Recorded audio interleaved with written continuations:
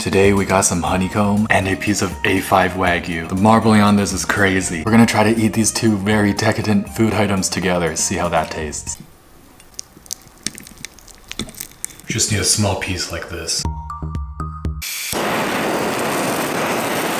Amazing.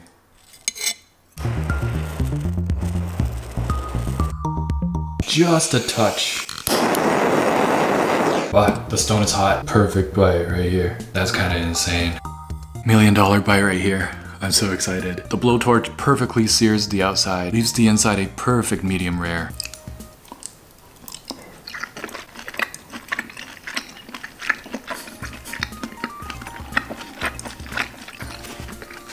Wow, that's out of control. Sweet honeycomb, super melty Wagyu beef, very juicy, amazing beefy flavors. That's incredible. 5 out of 5. See you guys tomorrow.